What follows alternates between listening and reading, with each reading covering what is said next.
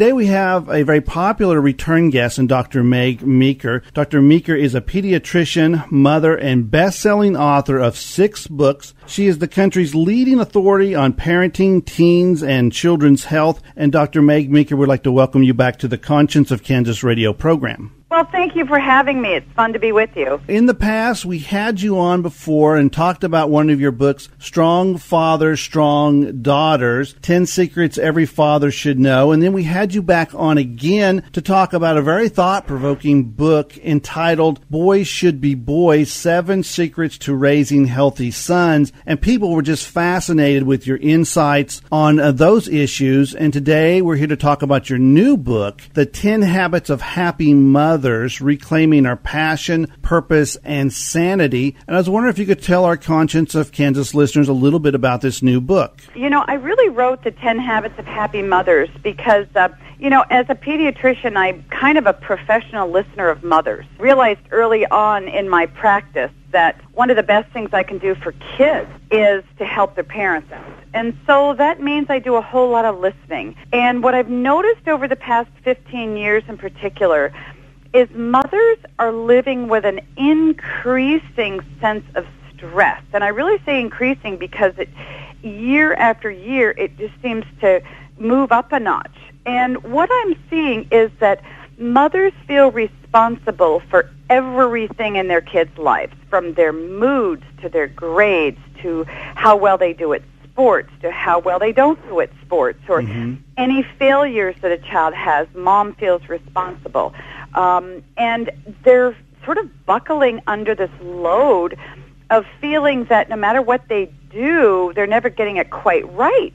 And, you know, so whether it's with respect to how well they're parenting, moms feel they're always falling short um, because there's always a problem, you know, with our kids. There's always an issue or something. Kids aren't always happy all the time. Whether it's how well moms are performing at their jobs outside the home, you know, they feel like, well, I'm, you know, if they're home, they feel they should be at work. If they're at work, they feel they should be home. So they sort of never feel like they're doing as well as they could at their workplaces. And then, you know, of course, when it comes to how well moms are doing sort of from a physical fitness standpoint, we feel we're falling behind there. So, you know, in short, I, I sensed that moms had this sense that they were sort of toppling over the edge. And I wanted to do something to sort of drill down to figure out where is this coming from and what can I offer moms? What how can I encourage them as a pediatrician to say, you know what, you're taking on too much, you don't need to live life um, this way, let's settle down and get back to the business of enjoying being a mom again and reeling some of this stuff in. And that's where the book really came from. Wow, that's very interesting. You know, I agree that moms have a tremendous responsibility and having a healthy emotional life is very, very important. And I've found sort of a, a series of